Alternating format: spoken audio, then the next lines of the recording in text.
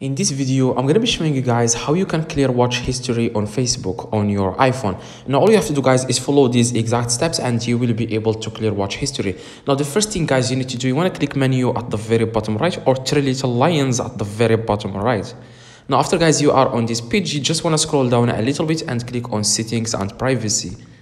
Now, after you click on settings and privacy, you want to click on settings in the top.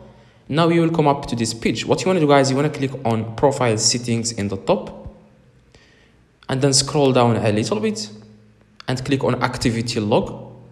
After guys you click on activity log um, if you want to delete uh, watch history you just want to swipe uh, as you can see you will see the list of um, options uh, story activity page likes following added friends videos searched um, videos watched. You can see, click on videos watched and if you can see here something called clear video watch history, you just want to click on it and then click on clear.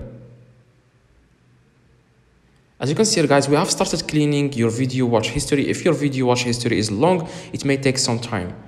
Now that's exactly guys how you can clear watch history on Facebook. You can click it again like click it three times at least three times and you will be able to clear watch history on facebook on your iphone. Hopefully this video guys helped you. If it does leave a like subscribe let me know in the comments if this works. Watch watch the video in the screen. See